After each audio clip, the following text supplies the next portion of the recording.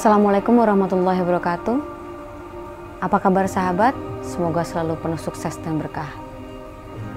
Jika ada pertanyaan, mengapa manusia itu diciptakan?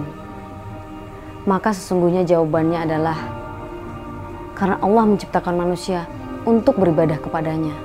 Lalu apa makna ibadah itu sesungguhnya?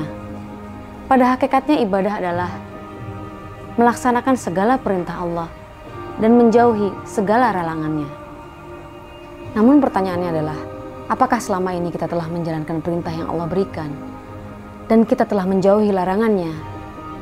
Dan apakah kita sudah mengerjakan segala syariat yang Allah berikan di seluruh aspek kehidupan? Sahabat, jika kita mengaku seorang muslim yang beriman, maka mengerjakan kewajiban syariat adalah wajib sebagai bentuk ibadah kita kepadanya, termasuk syariat dalam bermuamalah, berdagang atau berbisnis.